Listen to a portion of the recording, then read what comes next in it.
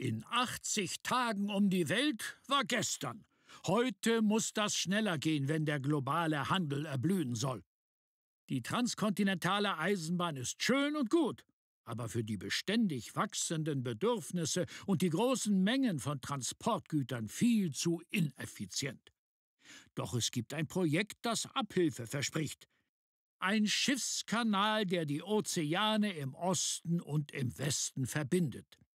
Auf diesem Wege lassen sich große Mengen an Fracht ganz einfach und bequem transportieren. Wer diesen Kanal kontrolliert, kontrolliert den globalen Handel und damit die ganze Welt.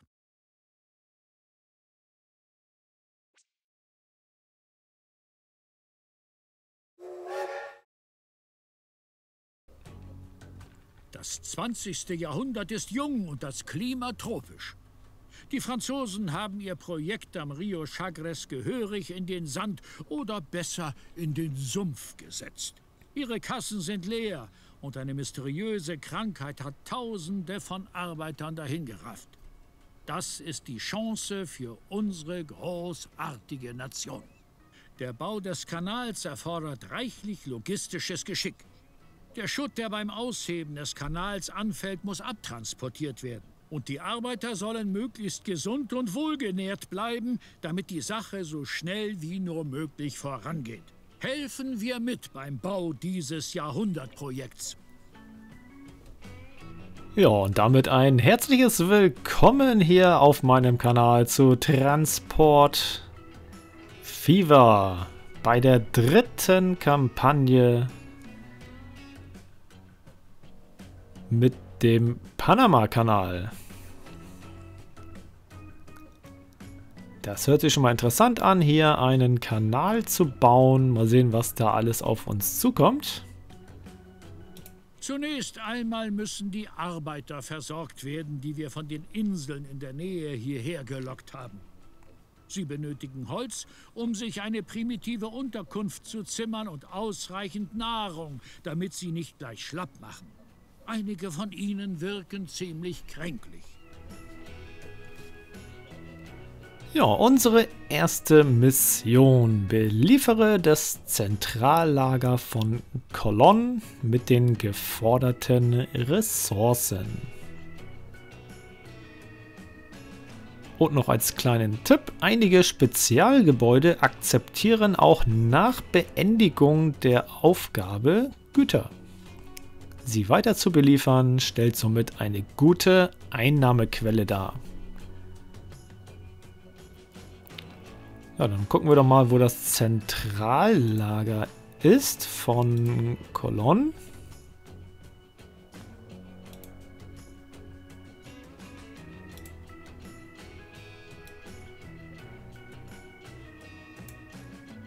Dann zoomen wir da doch mal hin. Ja, da ist es. Die brauchen Baumstämme und Getreide.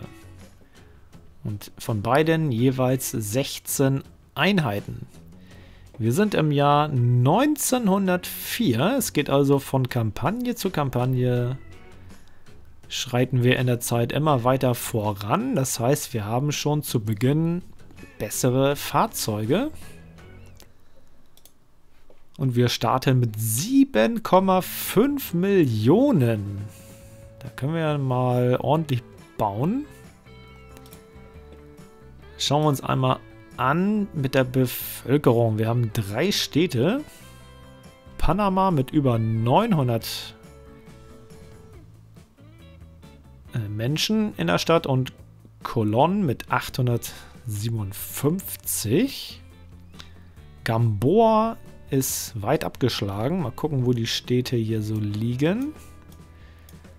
Ja, eine große Map. Panama hier ganz unten. Colon ganz oben. Hier dann der Panama-Kanal. Der aber hier nicht verbunden ist. Mit der anderen Seite. Und hier im rot markierten Bereich sollen wir dann wohl ja, die Ausgrabungen starten. Mal sehen, was das alles kostet. Ja, was haben wir noch? Hier ist nur Wasser. Hier haben wir einen Steinbruch, wo wir Steine herkriegen. Dann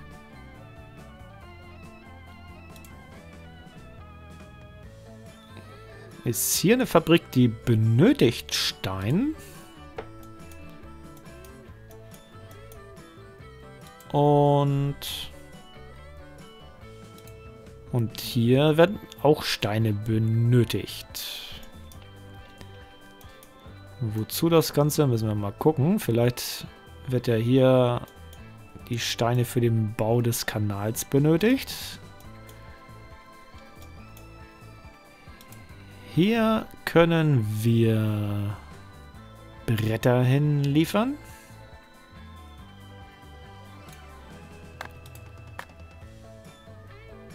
Und hier gibt es die Baumstämme.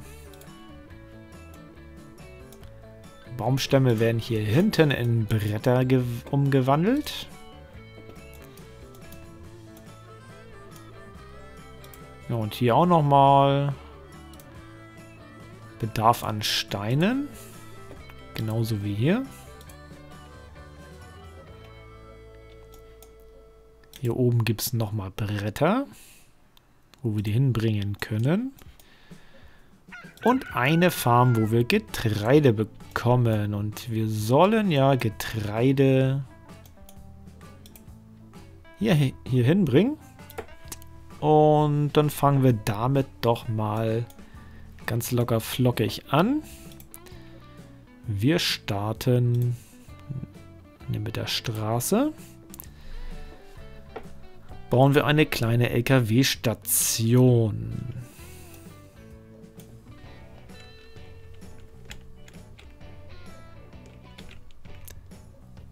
Bauen wir die ganz nah ran, damit die Waren immer schnell hierher geschafft werden können. Dann fehlt uns ein Depot. Das können wir auch hier hinten hinbauen.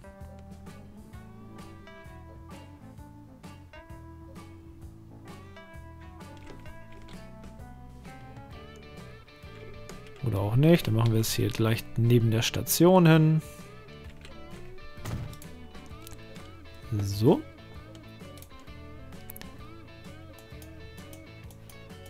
Dann bauen wir hier noch eine Station.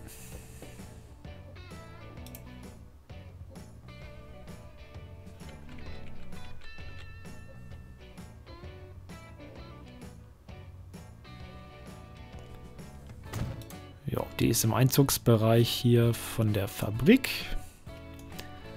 Dann erstellen wir eine neue Linie.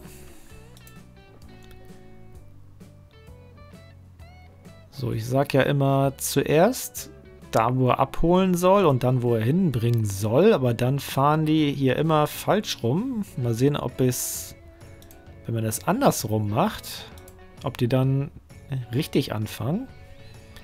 Ist jetzt nur mal ein Versuch. So, und das ist die Getreidelinie.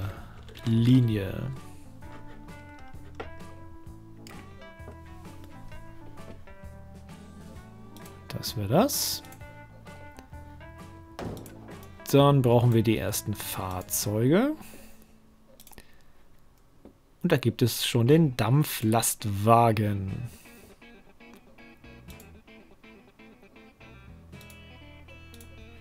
Kostet zwar 30k, hat aber eine Kapazität von 6 und eine Geschwindigkeit von 25. Da kaufen wir erstmal nur einen. Bis die Produktion hier gestiegen ist. Das dauert ja ein Weilchen.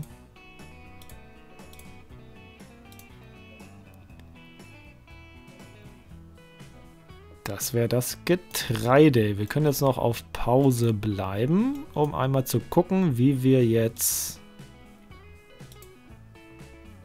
den Bedarf an Baumstämmen da jetzt ähm, stillen können.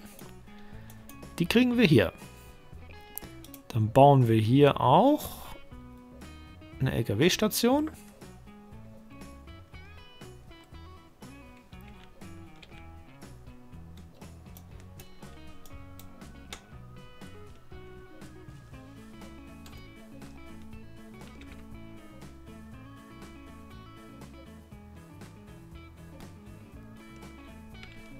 Und bauen wir die mal auf die andere Seite.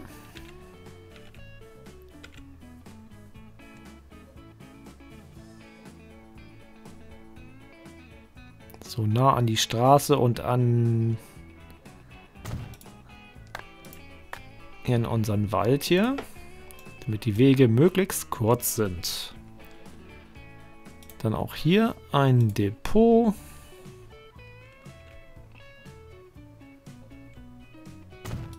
So.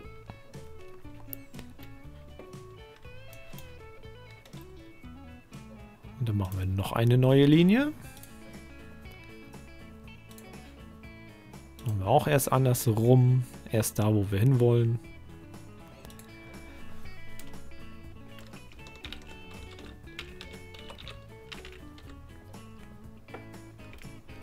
Und das sind dann die Baumstämme.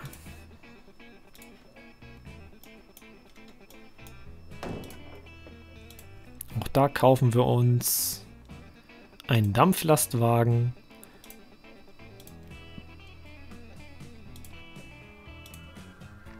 Für die Baumstämme. So, jetzt können wir schon mal starten. Ja, der fährt richtig rum.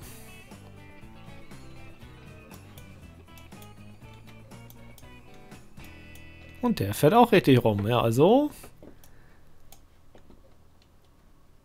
hat das was gebracht. Also als erst, wenn man will, dass er hier als erstes hinfährt, dann muss man den als zweites in der Linie angeben. Gut zu wissen. So, den Dampflastwagen haben wir ja noch gar nicht gesehen. Jetzt schauen wir uns den mal an hier.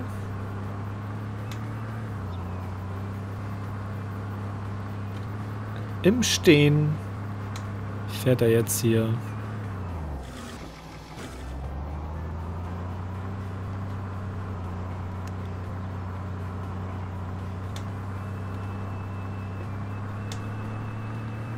Unser erster Wagen hier mit Dampf angetrieben. Schade, dass hier keine Dampfwolken rauskommen.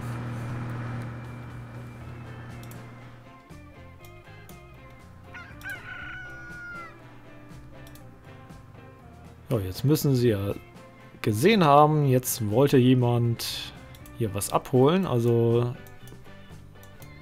schickt da jetzt mal was hin.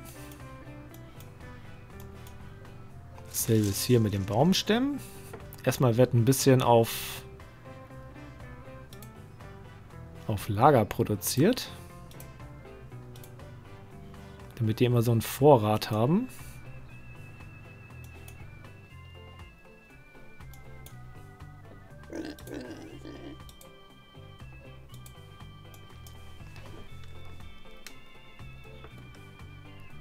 Das ist unsere erste Aufgabe, Getreide und Baumstämme. Dann machen wir auch erstmal nichts anderes.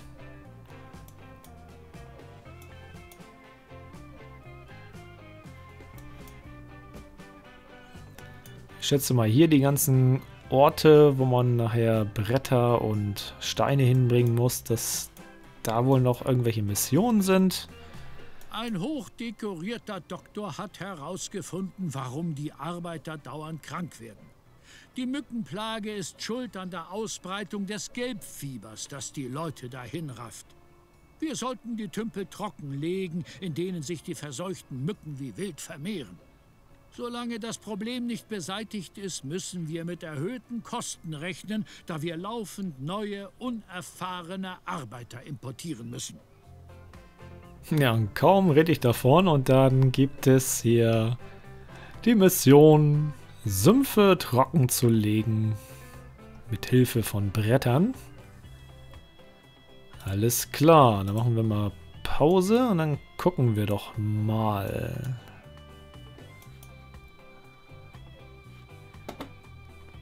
Aus Swamp 1. Mal gucken, so, das ist da. Die wollen Bretter haben. Die sind hier ganz unten. Die sind schon ans Straßennetz angeschlossen. Bretter kriegen wir zum Beispiel hier. Müssen wir hier noch eine Station hinbauen?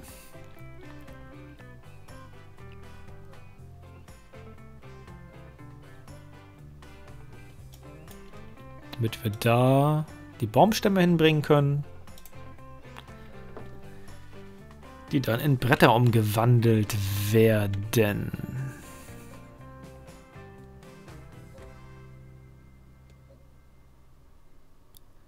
Machen wir einmal so.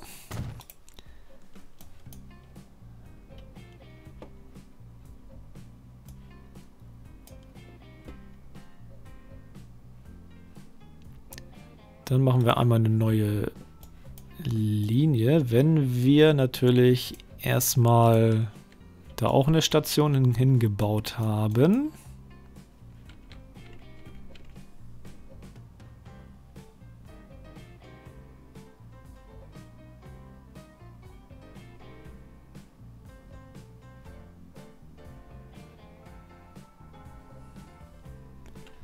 Warum ist hier noch so eine Straße?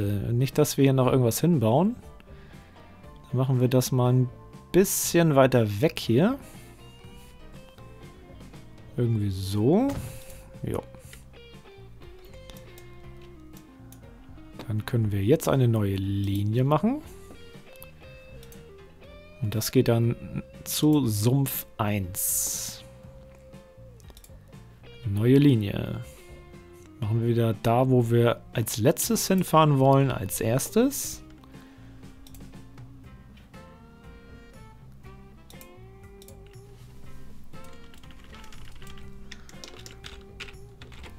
Sumpf 1 Bretterlieferung.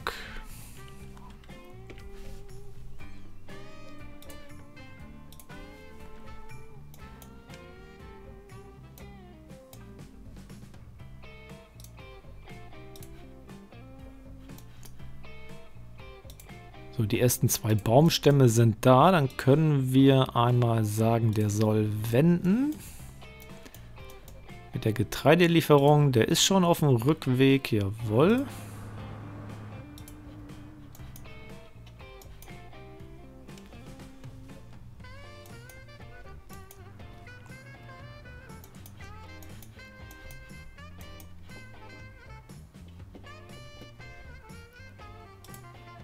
Dann brauchen wir aber auch noch...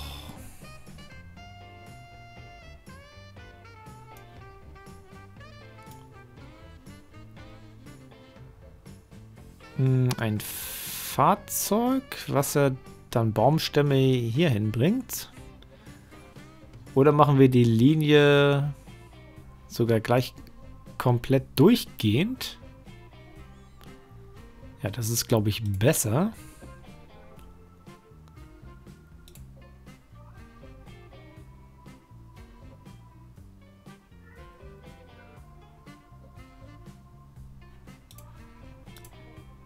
Ja, das ist besser.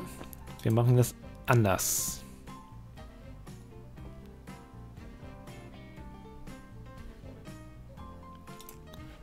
So. So und so. Mal gucken bei 3, wo er dann als erstes hinfährt.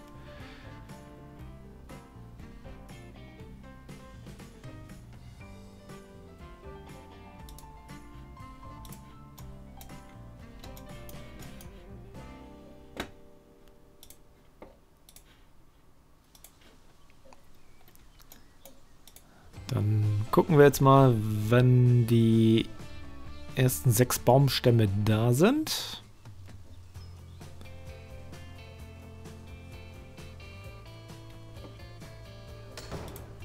Wir können schon mal ein Fahrzeug kaufen. Ein Dampflastwagen. Der hat nämlich Kapazität für sechs Einheiten.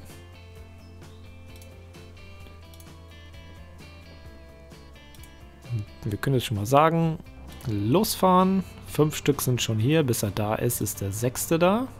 Und er fährt tatsächlich jetzt rechts rum. Sehr gut. Und da kommt der sechste Baumstamm.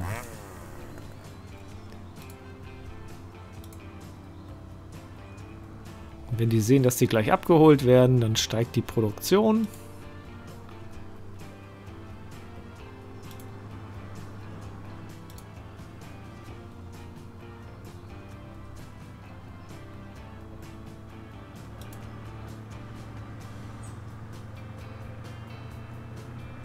So, warum hat er jetzt nichts, auf, nichts aufgeladen?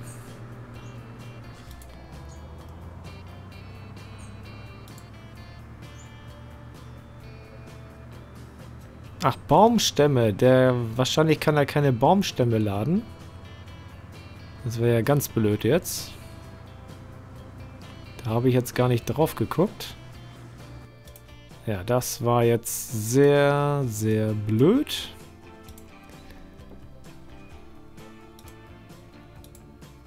Der kann gar keine Baumstämme transportieren.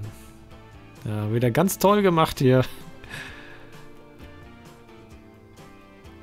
Da freut man sich endlich mal einen Dampflastwagen zu haben und dann guckt man nicht, ob er Bretter überhaupt transportieren kann.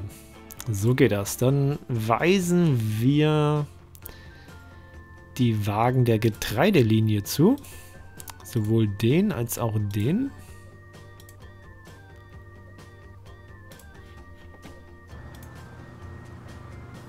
Mal sehen, ob er gleich wendet.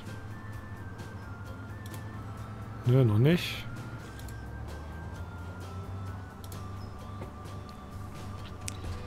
Dann auf ein neues. Gucken wir nochmal, der Dampflastwagen.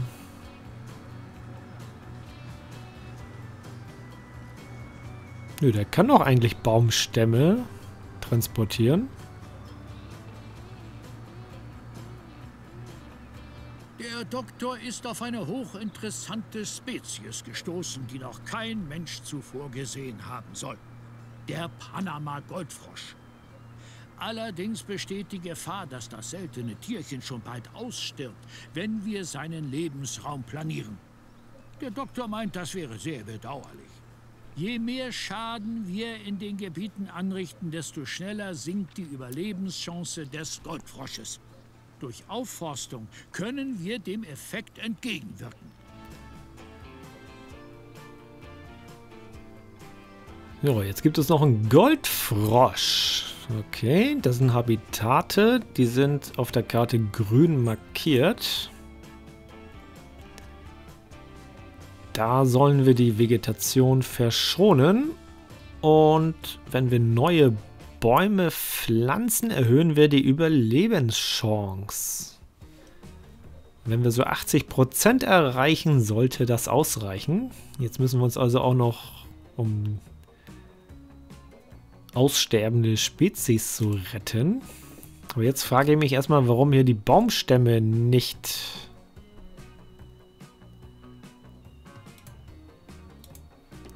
genommen wurden. Das ist jetzt ein bisschen merkwürdig.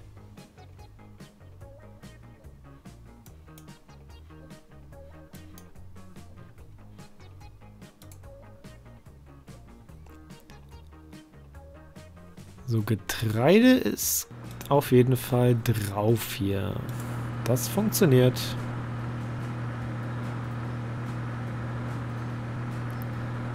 Können wir einmal mitfahren.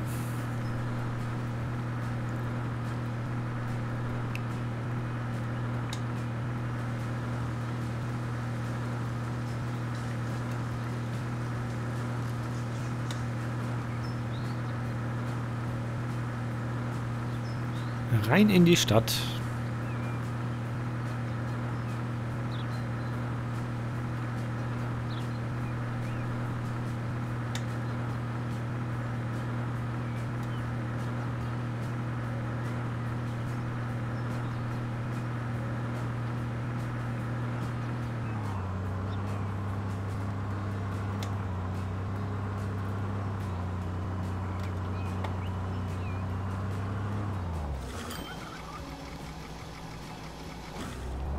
K hat die Fahrt gebracht, nicht gerade viel, aber naja.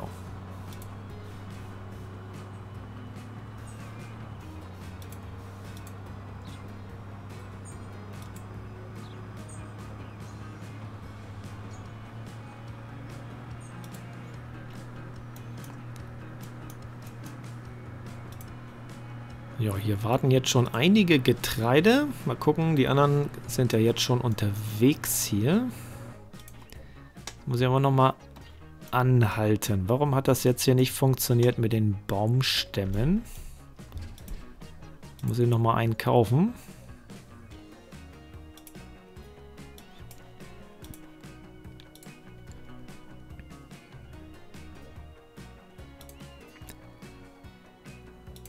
So, Sumpf 1 Bretter.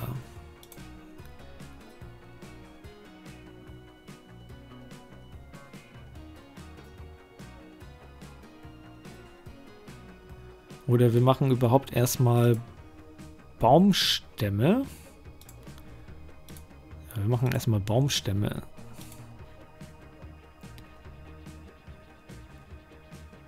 Normale Baumstämme. So. Baumstämme kann er liefern, laut der Liste.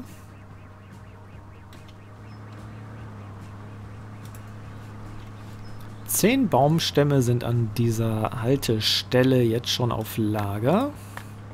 Die Produktion auf 100. Die hauen also ganz schön rein hier. Ja, jetzt werden die Baumstämme aufgeladen.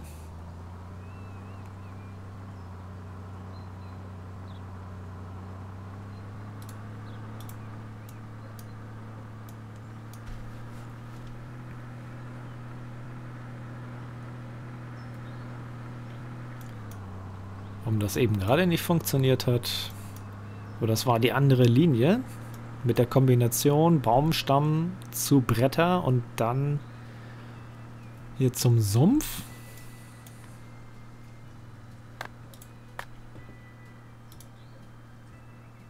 So, immer noch große Produktion. Jetzt müsste ja mal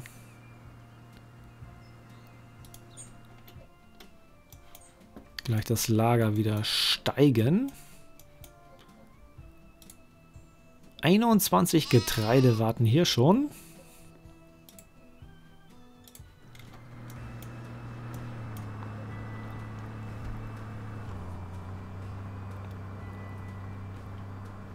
Ja, fängt schon mal ganz interessant an.